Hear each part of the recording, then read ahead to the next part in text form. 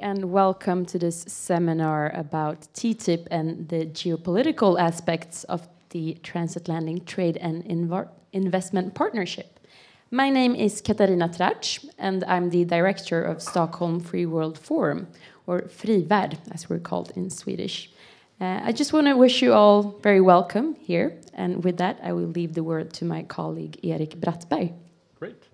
Thank you, Katarina, and välkomna, welcome. Great to see all of you here, um, especially such a sunny day. I thought everyone would be at the beach. Um, so great to be here. This panel, like Katarina mentioned, is on TTIP and the bigger political and perhaps even geopolitical implications of TTIP. Um, and you might ask yourself, you know, why are we here at Försvarspolitisk Arena, where we normally talk about defense and security policy like we saw in this video? Why are we here talking about trade? You know, what does this have to do with politics and, and defense and security and these broader geopolitical issues? Well, I think the answer is very simple. I think TTIP actually um, is, of course, about the economics, but it's also equally much about the political aspects. So that's really what we're going to delve into here at this panel uh, to maybe go beyond some of the normal topics that we hear when we talk about TTIP. Um, oftentimes, the conversation, especially on this side of the Atlantic, tends to be about some of the more technical sometimes controversial aspects of TTIP. But I think this is an opportunity to really look at what is TTIP really about? Um, how can it you know, strengthen Europe economically? How can it strengthen transatlantic relations? Um, and how can it help position the West in a world that is increasingly becoming multi multipolar um, and where we're facing an increased amount of challenges? So we have a terrific panel with us. Uh, I couldn't think of two better people to address TTIP here in Sweden. Uh, we have Mike Layne from the US Embassy, uh, who is the head of the Economic Units section. Uh, Michael has previously served in the US Foreign Service with postings in Kabul, Shanghai, Beijing, Ulaanbaatar, and Singapore, so quite a diverse background. Um, he has a BA from the University of Montana and an MBA from Rutgers University, and he's a native of the great state of Montana. Um, and to my far right, we have Peter Dahlen, who is the managing director of the American Chamber of Commerce in Sweden. Uh, previously, he's worked extensively in the private sector and public sector in both the United States and in Sweden, including working for then Senator and currently Vice President Joe Biden. Um, and originally, I believe, from the state of Delaware, right. which of course was founded as a Swedish colony in the 1600s. So you're embodying the Swedish American relations. Um, so I'm going to turn it over to Mike, who will start making some introductory remarks, and then Peter will go from there, and then we'll bring in you, the audience, to talk about uh, the multipolar world and the implications of TTIP. Mike, please. All right. Well, let me first of all thank uh, Stockholm Free World Forum for the opportunity to participate today. Uh, this is my first time at Almedalen. Um, I have to say, this is a remarkable experience. This is unlike anything that I've experienced. Um, it really is an amazing concept, an amazing event, and I would strongly recommend to Sweden that if it does do a free trade agreement with the United States, it includes the concept of Almedalen and exporting this concept to the United States. I think we'd greatly benefit from that. Um, Erik asked me to say a few words on the broader geopolitical implications of TTIP from the US perspective. Uh, but first, I want to note one thing, and that is, it has been actually a remarkable week for US trade policy even though it's really largely gone, gone unnoticed here in Sweden in the Swedish press. Uh, for those of you who are not aware, President Obama signed the Trade Promotion Authority um, on Monday after the Senate passed the legislation last week. Um, and for a while, it looked pretty tenuous that this legislation would actually get through Congress. Uh, for those of you who are not trade junkies and trying to explain what TPA is, it's actually um, it's colossal for U.S. trade policy to get this through.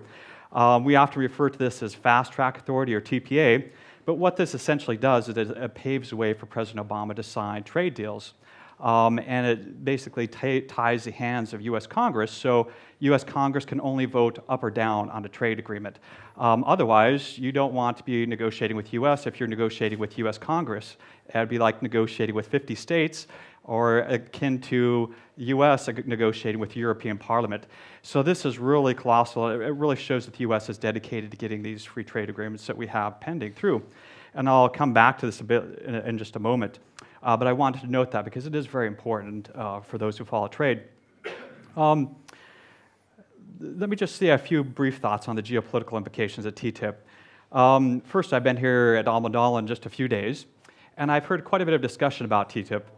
And I really believe it's vitally important that we have really robust discussions on TTIP and try to make this the best agreement we can. I think that's it's really important that we make this transparent, that we can talk about it, we can make this a really good agreement. And so I'm not against that. But what I've noticed is that um, some opponents of TTIP um, use myths, exaggeration, and fear to confuse the public on what it actually means. Um, but also, I think somewhere lost in that debate is that we forget what the fundamental reasons why we're focusing on TTIP, why we're looking at a transatlantic trade agreement. And it goes back to what Erik said a bit earlier. Um, so I think it's really incumbent upon us to keep in mind the bigger political, geopolitical implications of what this means. Um, so first of all, I, we can't skip over any of this without talking about the economic opportunities that are there. Um, and this is perhaps the best opportunity we, we have in a generation to strengthen transatlantic ties. It really is. Um, and uh, this was really interesting. I looked at the Washington Post and they had a really good blog uh, just a couple weeks ago. And it was interesting from my perspective is that it compared US states, and if they produce GNP, if you measure GNP from a US state perspective, and it took each of the states and compared them to an equivalent GNP around the world. And to illustrate this, it was interesting because Sweden was comparable to the state of Ohio. Just to give you a comparison, what the economies, equivalent economies would be. Um, New York, for example, was equivalent to the state, effort was equivalent to Spain, for example. And the, the California economy is somewhere equivalent to this, the country of Brazil. So this is by way of perspective and telling you how important this is from an economic perspective, both for the European Union and from the U.S. I mean, I want to emphasize this is a negotiation between equals, and I don't think the European Union has anything to to fear when it's negotiating with the U.S. I think sometimes those fears are overblown when they, we talk about negotiating with the U.S. I don't think they're there. It is a, it is a um, negotiation between equals. But I mention this because we need to keep in mind the bigger economic aspect. Um, and what I also say is that think about Sweden here. Uh, U.S. as a single market, as a country market, we are the fourth biggest export market. We're also the recipient of, we're, Sweden is the 11th biggest investor in the United States. But when it comes to defense, which I also find really interesting, because uh, the last uh, discussion was just on um, defense material, but the US last year was your number one importer of defense material. I think that's really significant, and especially as Sweden begins to debate whether to export to non democratic countries or not. I mean, think that here we are, the United States is your biggest recipient. And thinking about it in the bigger context, what if we could make that easier and make it easier for Sweden to export its weapons material to the United States with a TTIP agreement? Again, it's a bigger picture issue, but I think it's worth noting. Um, I can only imagine it will only get easier as, as if we have a TTIP agreement. Um, so, but what if, what if the US and EU fail to sign this agreement? What about that? Well, as I mentioned uh, earlier, just about TPA, and TPA is really important for TTIP, but even more so, it's very important for TPP. I don't know if you've heard of TPP, but it's a Trans Pacific Partnership. I was in New Zealand prior to this, and I worked on the TPP for three years. Um, essentially, it's between, between 12 countries, um, and those 12 countries combined uh, constitute approximately 40% of the world's GDP and a third of global trade. Um, that agreement is very close to being done, and most likely the TPP would be the first up to bat and be passed by uh, Congress and uh, put into effect. But why do I mention this? Well, what happens if we don't have TPP, or if we don't have TTIP, but we have TPP? Where, if those barriers are lowered and the US increasingly focuses its business efforts on the Pacific, what happens to those trade ties with the Atlantic? It's a question that worries me, um, and that's why I think it's incredibly important that, not, that we not only, not only get TPP, but we also have TTIP to make sure that the US focuses its trade efforts and its relations, relations um, and its efforts on that on both sides, on the Pacific and the Atlantic side. I think that's very important to keep in mind. Um, and I want to say this is a very comprehensive agreement. In fact, this, the TPP is an agreement that I think is going to be uh, uh, uh it's going to be a benchmark for future agreements. Again, I think this is one thing that we have to keep in mind. We want to make sure that investors also want to focus on investing in Europe, for example, with uh, safe provisions here, just as they would in the Pacific countries. Um, so, second, what is it about uh, TTIP that's important? Um, we want to set standards that are driven by values. The United States and EU should be the ones setting the rules of the road, building our commitment, among other things, to strong labor rights, enforceable environmental protections, and intellectual property rights that encourage innovation and entrepreneurship. So I think that we have the opportunity here with TTIP to show that we can create opportunity without sacrificing standards. This is really important. Um, and by doing so, we compel other countries to emulate what we are doing within the EU, US and the EU. Again, what happens if we don't have an agreement? Well, let me point out that there are economies outside the US and EU are emerging at a much more rapid rate and are growing at a much more rapid rate than the US, US and the EU. Um, China, for example, is predicted to eclipse the US economy within the next decade. Um, and as these emerging economies grow, such as China, uh, they have increasing market power, and they also have an increasing ability to set the rules of the road uh, when it comes to trade and investment. Um, having served as a diplomat in China for five years, I worked on WTO compliance issues. And um, I saw everything from very flagrant violations of intellectual property rights uh, to the government championing state owned industries. And to be quite frank, I'm not really quite comfortable with having countries such as China setting the rules of the road when it comes to trade and investment. Again, if the EU and US work together, we can make sure that doesn't happen. Um, again, um, let's see, my computer's stalling out here. Um, last, we want to use our economic partnership to bolster our strategic partnership and promote our shared vision for an open, integrated economies and rule of law. No, TTIP is not akin to a NATO agreement. There's no hidden Article 5 that says uh, the Sweden should come to the rescue of the United States if we're attacked. That's not the point of it.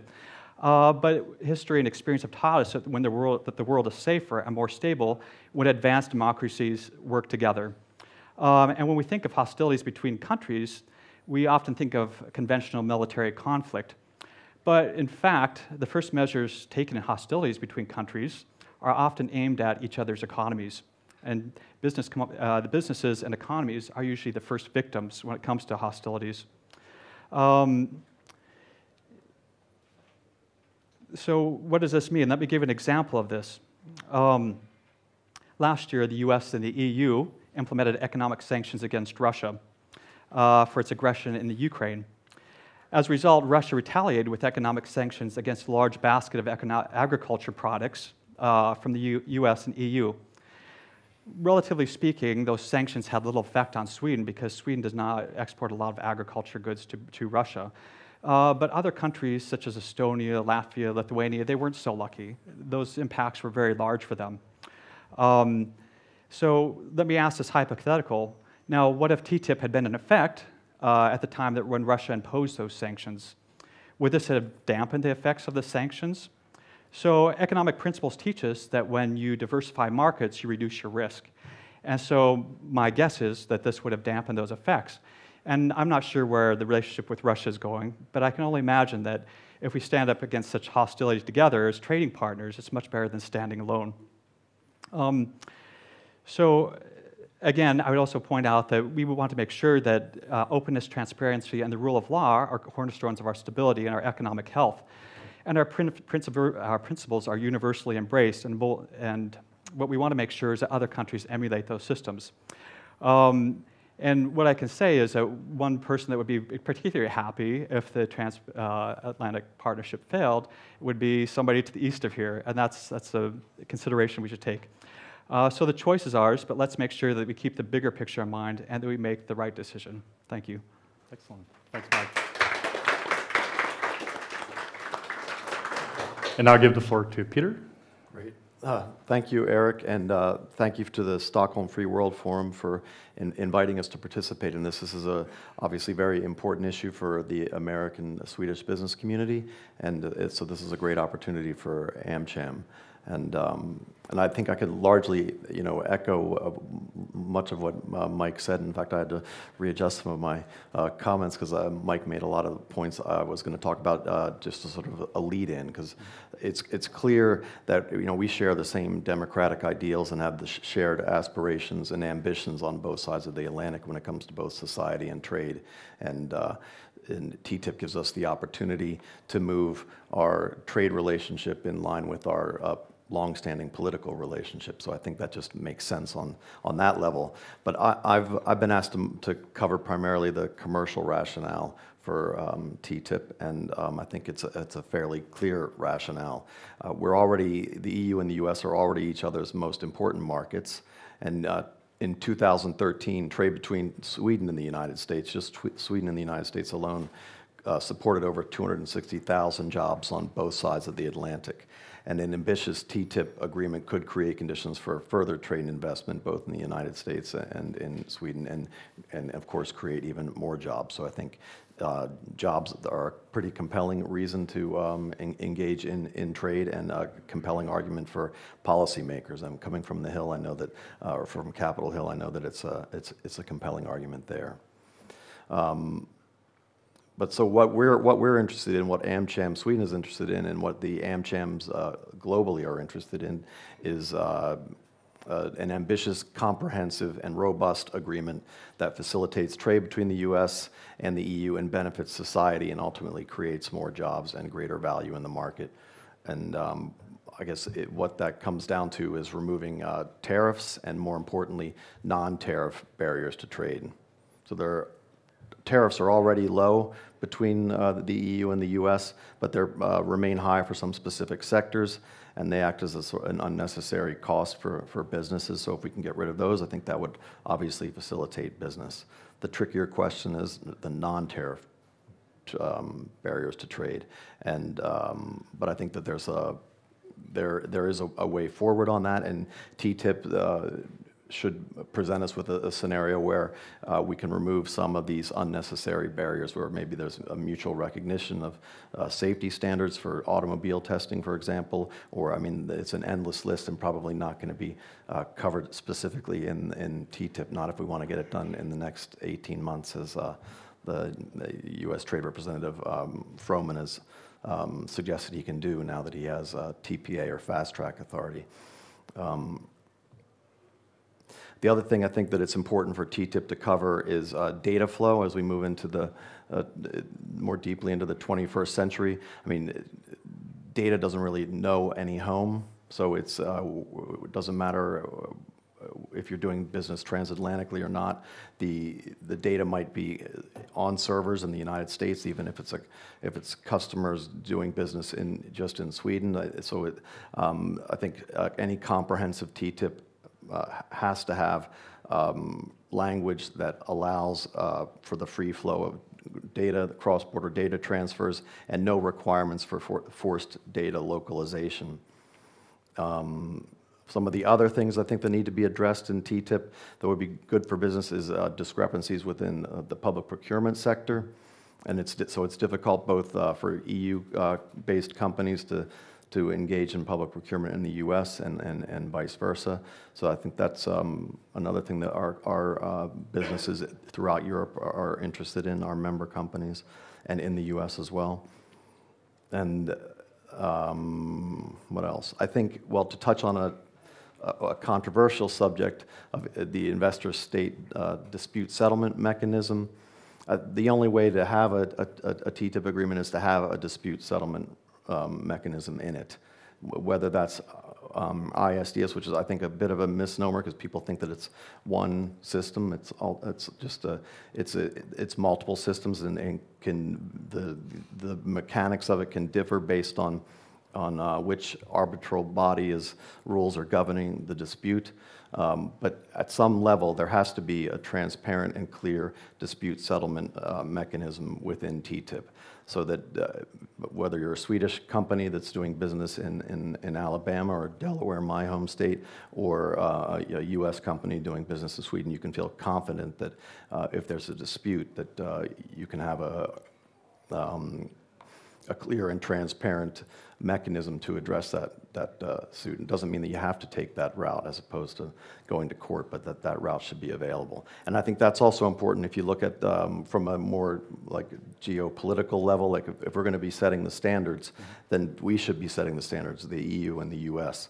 And um, and if you're, if you're going to have uh, a demand in other free trade agreements that they have a dispute settlement uh, system in place, then, then we should have it in, in, in ours as well.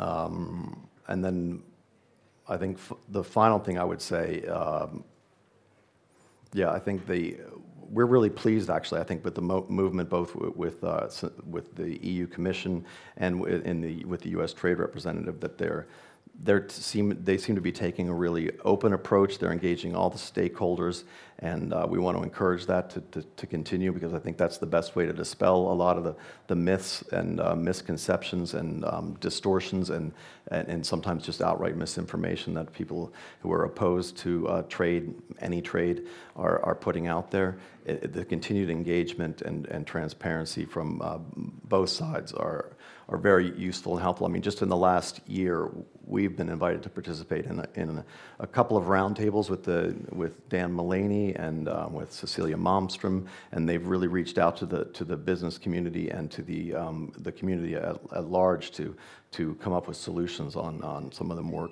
controversial matters. Excellent. Thanks very much, Peter. So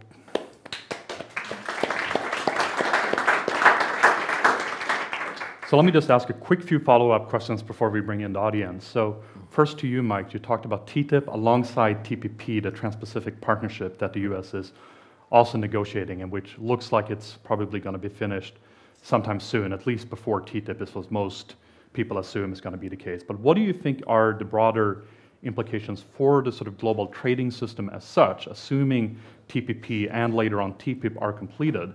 Is this going to mean that we're going to see more trade liberalization also in other parts of the world?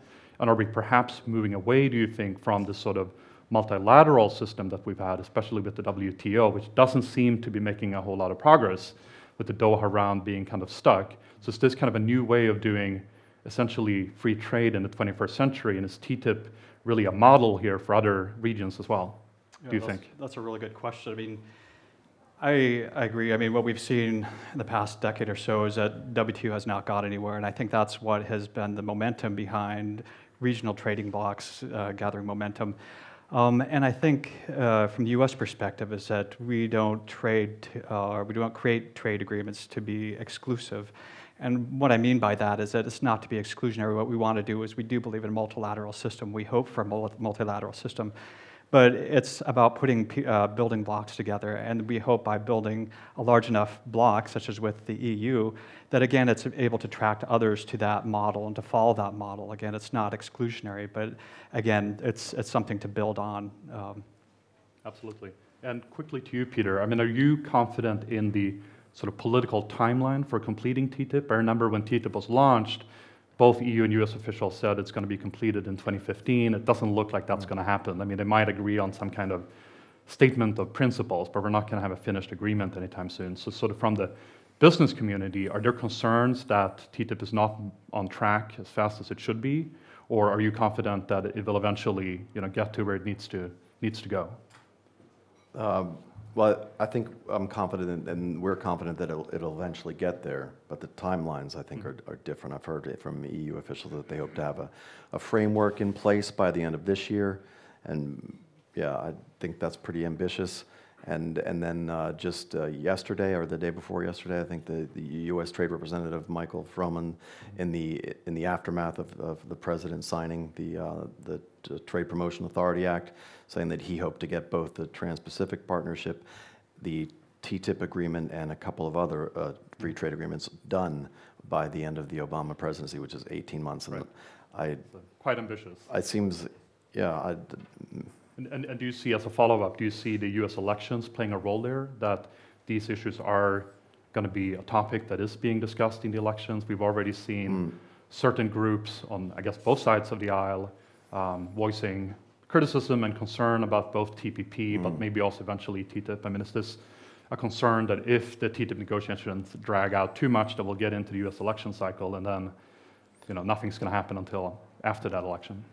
Yeah, I think that's a legitimate concern, Yeah. uh, and it's, it is popping up already with uh, some, uh, some of the Democratic uh, uh, uh, primary candidates uh, voicing opposition to, to, to TPA and, and to TPP, and uh, less so to TTIP, but I think it would only because it's, as Mike pointed out, TPP is going first, and so Yep. I think if TTIP was first, they would be getting some more hits, but uh, it's going to get yeah more heated, Yep. and um, but I don't think that will spell the the end of it. Maybe it makes it harder to get TTIP done before the end of the Obama presidency. But once there's a a new U.S. trade representative in place up in the new, the new administration, I would see it getting back on track, and then maybe it gets slowed down again because there's a change in the Right. EU Commission. EU Commission. There's always an election.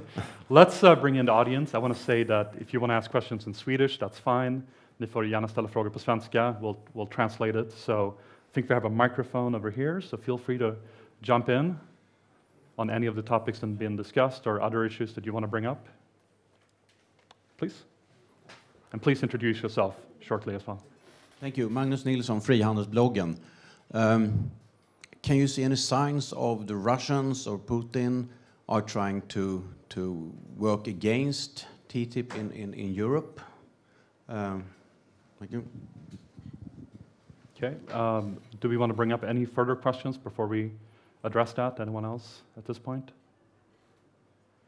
Okay, so let's. So the issue is about Russia, but also, I guess, more broadly, the sort of anti-TTIP movement, which, especially in Europe, seems to be quite active. I was just walking around here in Visby, and I saw this Trojan horse that said TTIP and politisk Trojan, a, a political Trojan. So it does seem to be the sort of um, anti-TTIP movement, and I think both of you touched on some of the issues that are controversial in the debate. But is there anything else you want to add on the sort of um, anti-TTIP uh, movement in Europe?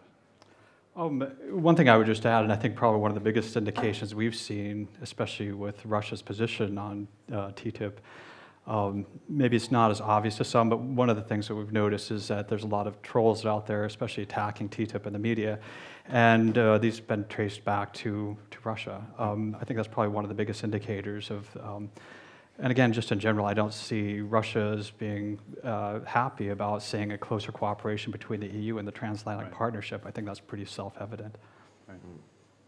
Yeah, I don't, I don't have much to add to that beyond saying that there are some, uh, some, in some countries in the EU, they talk about, I mean, the ones, the ones that are closer to the Soviet, or the former Soviet Union, countries that were in the former Soviet Union, I've heard them actually refer to TTIP as economic NATO. So Right. um, it, I don't think that's helpful to have that, Yeah. that uh, ter- terminology, but I, there must be some uh, feeling that Putin sees it like that. Yeah.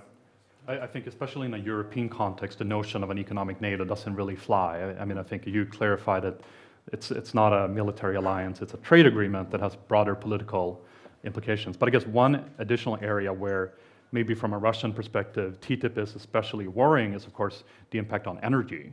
Um, obviously, we know that uh, Europe's heavy uh, energy dependence on Russia also makes them vulnerable to potential Russian political influence. So, to the extent that TTIP can also help open up transatlantic trade with, uh, with energy, both in terms of like LNG, uh, but also other types of energy sources, that could be something that could further energy security in Europe, and of course, as a result, be something that um, Vladimir Putin might not view very favorably. Uh, but do you think energy, energy um, is another sort of key ingredient of, of TTIP as well? Uh, From my perspective, uh, yes, absolutely. I can't comment on specifics when it comes to the energy uh, negotiations, part of the um, TTIP negotiations.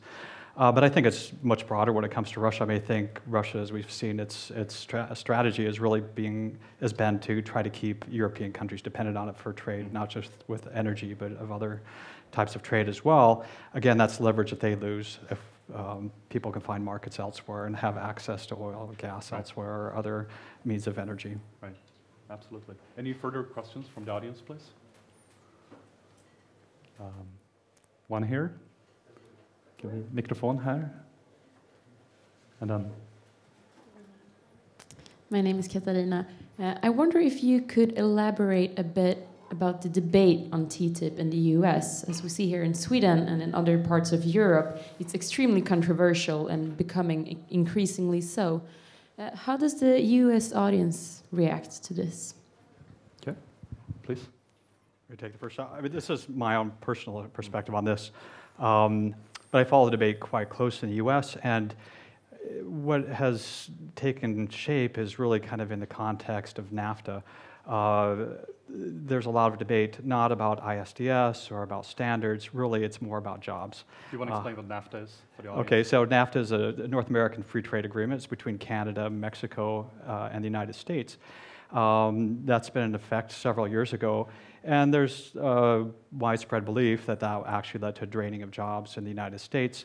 Um, and so, oftentimes, that's the context which Americans debate it. And so, as a result, uh, labor unions in the United States have come out against um, TTIP, uh, which has been very problematic because that's uh, influenced the political debate as well.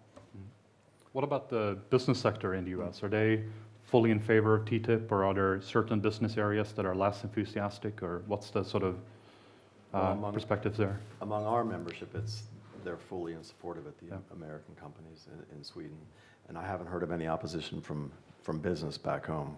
But the, the opposition I've heard is, as Mike describes, it's related to, to NAFTA and a fear of losing jobs, and then that gets into democratic politics. Even, I think there was an article like a, a month ago about a town in, uh, in uh, Illinois that uh, then uh, Senator, or when, when uh, President Obama was running for Senate, he talked about this town's the loss of jobs due to NAFTA, and and of course he's in a different position now, where he has to create jobs as the president of the United States, and but this puts Democratic candidates in, in a difficult position, as as we've seen with the. The, the uh, fast track vote in the House a couple weeks ago, which was defeated by Democrats. Mhm. At the same time, TTIP is of course very different from TPP in that you would have a free trade agreement with another industrialized, you know, part of the world, Europe, whereas TPP deals with a lot of Asian countries where you have lower wages, and you could make the argument that it's more about potentially um, off-sourcing American jobs. At least that's what the critics say. But TTIP, uh, it seems like it would be a much harder argument to make that when it comes to Europe. Uh, But I think we have a question in the back, and then any other ones that we want to pick up at this point? Get the microphone to the gentleman in the blue suit.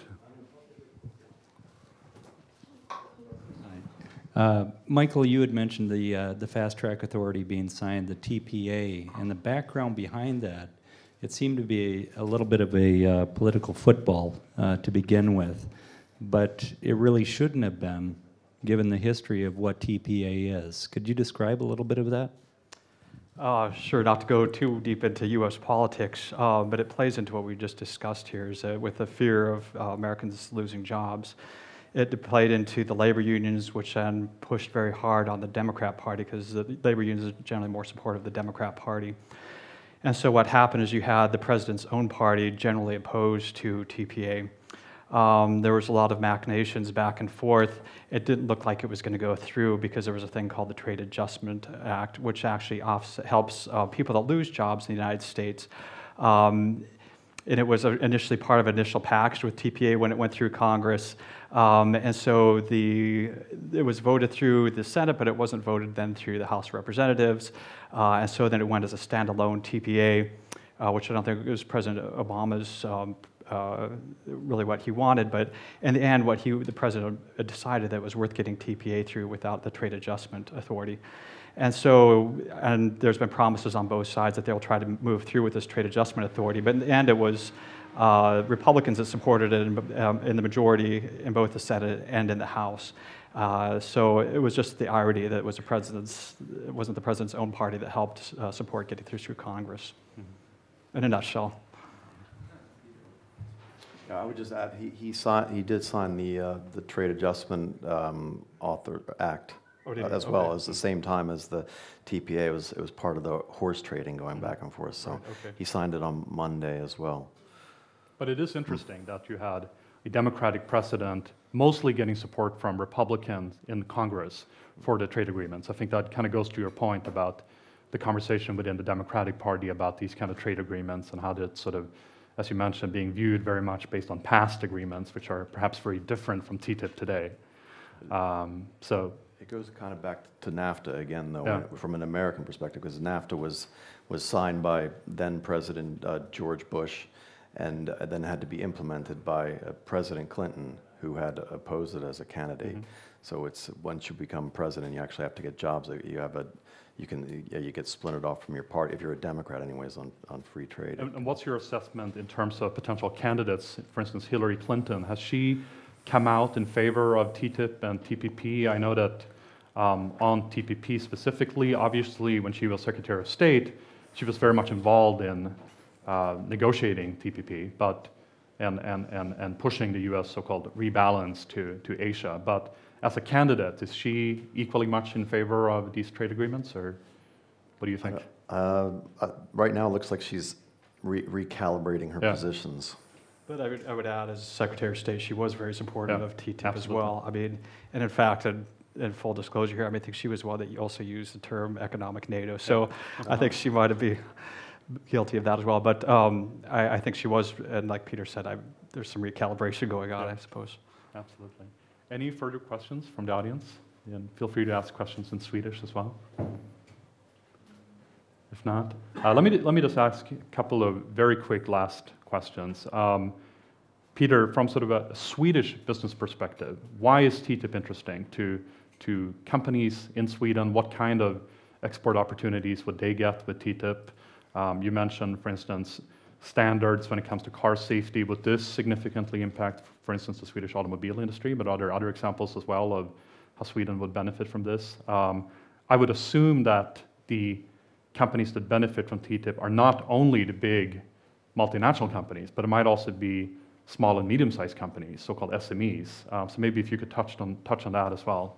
Yeah, thank you, Erik. That's a good, very good question, actually. I think the, the companies that stand to benefit the most from TTIP, both in Sweden and the United States, are, are, are small, medium-sized enterprises because they make up the, the bulk of the businesses in both, in both countries, in both the EU and the, and the, and the US as well. So I, SMEs would definitely benefit. Whether a, a particular industry would benefit or not, I, I, like the car example, I, I don't know. I, it stands to reason that they would if they can cut costs, but I think the, the cost of uh, dual testing for car safety is maybe is obviously more easily absorbed by a, a big multinational company than a, Yeah. than an SME. But there are plenty of examples of, of small and medium-sized enterprises, uh, Sweden-based and the U.S. Um, and U.S.-based, that uh, would benefit by the, the reduction of non-tariff barriers to trade. And we've, we've uh, featured some of them in our video series on, on TTIP. Um, and we're going to be doing some more videos now going forward, uh, focused on small businesses, big dreams, and how, and how these businesses here in Sweden and elsewhere in Europe are negatively impacted. They don't go into the U.S. because of whether it's um, uh, burdensome labeling laws or differences in the um, safety safety specifications for display glass cases. Um, that there are arguably unnecessary differences that that stop um, the small businesses from exporting their, their product, which stop them from hiring new employees, and which ultimately then also deprive the customers in, in both markets of valuable products that they might want. So, so what TTIP would do is not necessarily to say that each side, you, the US and Europe, needs to have the exact same standards, but they would recognize that they're equally good, that an American standard is as good as a European standard. Is that sort of the, I the rationale, I think? I actually don't know if Yeah. that's, if they've reached that point. I know that that's been a, an idea, Yeah. but I, maybe Mike knows more about Harmonization that. instead of, Um, yeah, just on the standards question, I think it's really important. I mean, it's not so much harmonization, but finding convergence or coherence between the two Yeah. sets of regulations that Yeah. what we're looking for. And oftentimes there's this unrealistic fear that there's going to be a race to bottom, and that's not true. When you think about, about most business models, if you look about, I'll take an example from California, where California set some of the strictest emission rules for automobiles in the world. And what happened in the United States when automobile emission standards rose? Uh, because companies don't want to produce to two different standards. And so if you have two different standards being produced, companies oftentimes it's, you know, I can't, this is oversimplification, but they'll rather produce to the higher standard rather than to the lower standard to be able to take advantage of economies of scale. It's a simple thing. and, and finally, Mike, to you, uh, we haven't really mentioned the C word, China. I mean, to what extent is if the US and the EU are able, through TTIP, to agree on joint standards, what does this mean for sort of rising powers, including China? Will they then, um, will it make it less difficult for them to enforce their own standards, which arguably are much more different from the European standards than the American standards are? Um, so what kind of broader, you know, impact on, on, for rising powers would a TTIP agreement have in terms of the standards and the, and the regulations? Um, I, I don't see anything but except good coming out of it. I mean, really, what you have when you have the ES and U, uh, the EU and the US working together is that you can set standards, not only just setting those standards, but the enforcement and the Mhm. expectations that those will be enforced. And when countries don't comply with that, then we can say, okay, well, we don't need to necessarily Mhm. trade with you. I only see that only good can come from that, and that other countries will step up to the plate and begin enforcing their standards and create better standards. Again, that's going back to the question of being multilateral, I think that's what we're aiming at. So, so TTIP, in a sense, is a way to reinforce the multilateral system where obviously rising powers, given their growing economic size, will play a bigger role. Absolutely. But you will still be able to maintain the sort of shared values and norms that the Western countries stand for and have that be the norm globally. Absolutely. Great. Yep. Excellent. Well, I think we have time for one more question here, please. Right there. Hej, jag heter Gustav och jag kör nog på svenska. Mm. Du får Det översätta. går jättebra. Ja, eh, det jag undrar lite grann hur det kommer påverka de svenska kollektivavtalen när de behöver konkurrera mot de amerikanska utan svenska kollektivavtal. Kommer inte det på längd försvaga svenska kollektivavtal i Sverige när de konkurrerar på samma villkor? So the question is about Swedish, um, I guess, kollektivavtal. I guess that is the, um, yeah, the, the agreements between labor unions and, and businesses. Would TPAC, would TTIP have an impact on that, do you think, in, in Sweden and in Europe broadly? Um, I, I don't see anything that would harm that in any way, shape, or form. I mean, what we're trying to aim at, especially with labor standards, is that we're looking for the highest possible labor standards there are. We do have different label sta- labor standards. We have different approaches to unions. I personally wish that we had a little bit more um, uh, cooperation between our labor unions and business in the United More of a States. Scandinavian model, Yeah, a little yeah. bit more of the Scandinavian model. I'm very impressed with that. But I see nothing that would weaken that ability to make that, those agreements, Mm. those uh, collective bargaining agreements. Yeah. And from a business point of view, Well, I've heard nothing about lowering any standards, uh, whether they're labor or um, food standards or safety standards. Nothing about lowering standards. It's about, yeah, as Mike said, finding some coherence and, um, and, and potentially um, when you open up the markets, then maybe the, the collective the collective bargaining agreement here in, in Sweden would have a positive influence on collective bargaining in the U.S. and and exposing uh, the labor cooperation through the historic cooperation that's existed here since like the Saltsjöbaden Accords or maybe before um, could serve as a positive model in the U.S. But I, I, I know of no part of TTIP that is aimed at lowering any standards. Right. It's about lowering tariffs and non-tariff uh, barriers to trade and facilitating trade. But no one wants any race to the bottom. Excellent. Any last questions from the audience? I think we're going to have to wrap up. Um, I want to thank both our panelists for a terrific discussion, which I think um, led us beyond some of the sort of current hot issues to talk a little bit more about the big picture, why TTIP matters for Sweden and for Europe and, and for the West in a changing world. So please join me, give me a big hand to Mike and Peter. Thanks.